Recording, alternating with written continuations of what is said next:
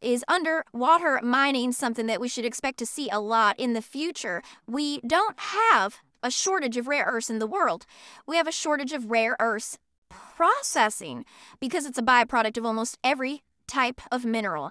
On the deep sea bed, there are things called uh, mineral nodules that, in theory, you can vacuum up, bring to the surface, and process and they have a much higher concentration of specific trace metals that currently we have identified as being in shortage. So, of course, rare earths are in that category, cobalt's in that category.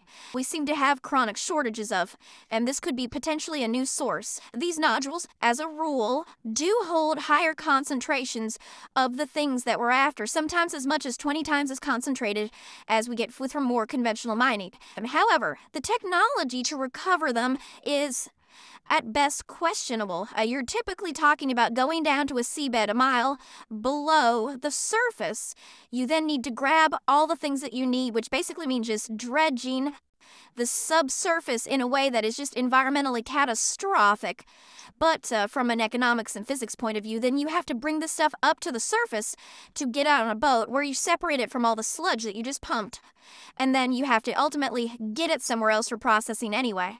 So at the moment, the technology has not evolved far enough for anything about this process to be economically viable. So it's interesting, but just the physics of recovery are really hard. Doesn't solve the processing problem. Right now, most rare earths, all rare earths really, are a byproduct of other mineral production zinc, silver, aluminum, for example. And so you basically have your first stage processing where you pull out the aluminum that you need, or the silicon that you need, or the silver that you're after, and you're left with something called tailings. And then those tailings go to a second facility to be processed to get the rare earths or similar materials.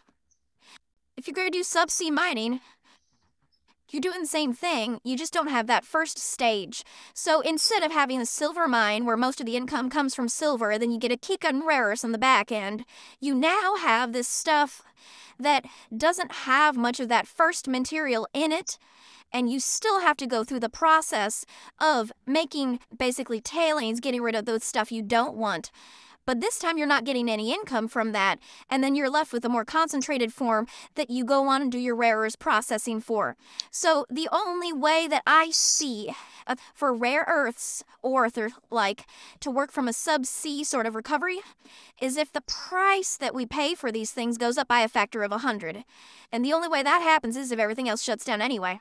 But the bottom line for all of these questions comes down to processing.